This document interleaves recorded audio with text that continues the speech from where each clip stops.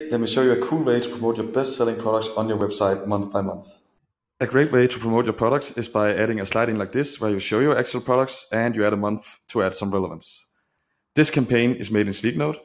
The way you create this is simple. You simply add a merge tag, it's drag and drop. So here you add a merge tag with the month you're in. Then you can add your product feed.